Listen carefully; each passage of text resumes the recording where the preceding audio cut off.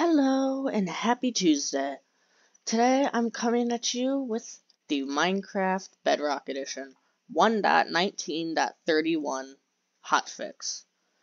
There isn't very much in this update, it's just a few quick small changes, but just trying to keep y'all updated. Uh, now for the last beta, I did, if you watched it, I laid out all the information from the changelog on signs like in a Minecraft world, and I went through and read them all. This update, I'm trying it a little different. I'm just gonna read it right off the changelog. So if you did watch the other one, let me know what you thought of the style that I used for that one.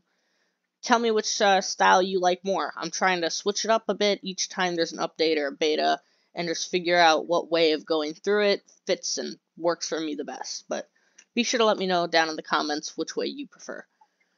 Anyway, Minecraft 1.19.31. Hotfix on the Bedrock version.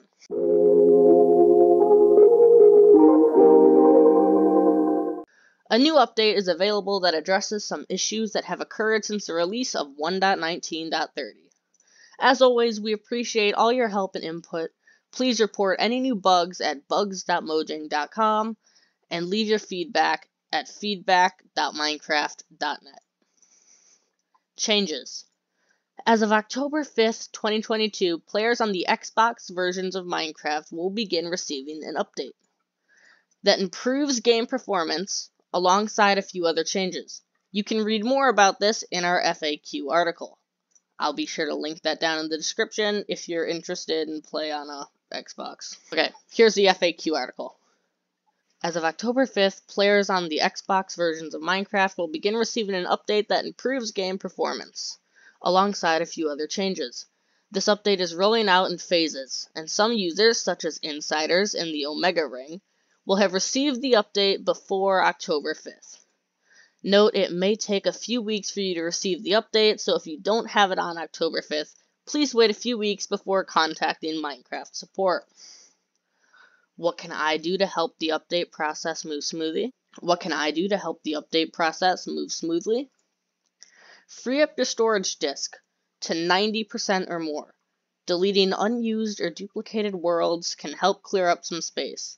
Whatever you do, make sure that you do not uninstall Minecraft or your data might be lost forever.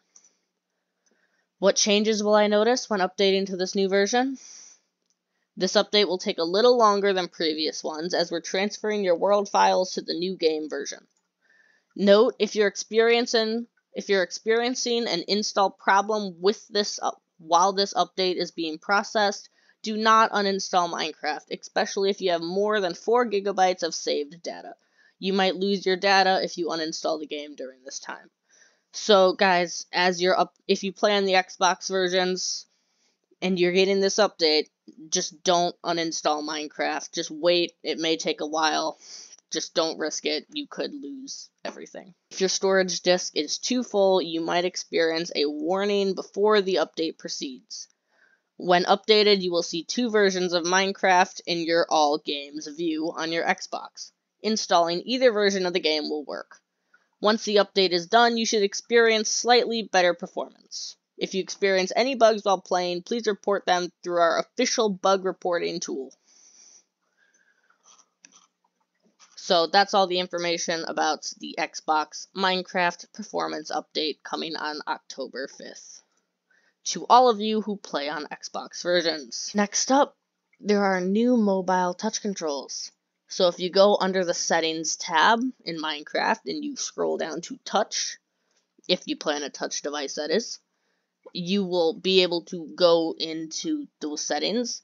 And when you turn on the new interaction model the drop down menu will appear allowing players to use the new touch scheme the new crosshair scheme or the original classic scheme.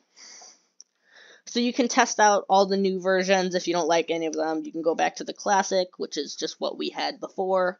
But if you play on the mobile version i'm sure some of these new touch controls will be to your liking, so do be sure to check them out if you play on touch. As for the fixes, they fixed several crashes that could occur during gameplay. So just, you know, when you're playing Minecraft and your game crashes and you go, what in the world happened? It, you know, just fixing stuff. Fixed terrain on maps getting replaced with black pixels. There's a bug report. Maps display black areas. This seems to have been around since 1.19.30, so not very long. If we just click on some of these images here, as you can see on the map, this one looks to be in a moon shape, so that looks pretty cool, but it's just blacked out. This one too, it just appears to be a black ring all the way around their base area for some odd reason. This should have been fixed in this update, so we won't be having that issue anymore. Fixed a bug that unbounded the inventory key when using the full keyboard gameplay toggle. So I guess when you were playing, you know, you're playing on a keyboard for some odd reason, your inventory button could just unbind so you couldn't open your inventory unless you went to settings and fixed it. Don't know why, it seems like a really weird bug, but it's been fixed, so that's good. And finally, fixed players sometimes spawning under the obsidian platform and falling into the void after entering an end portal for the first time after the 1.19.30 update on Realms very specific there, but now, no matter what, when you go into the end, you should not immediately die in the void. You should spawn on the obsidian platform, wherever it is. Let's check out the bug report. Player spawns below obsidian platform when entering the end portal. Once again, was reported in 1.19.30. Let's see if we can find a video.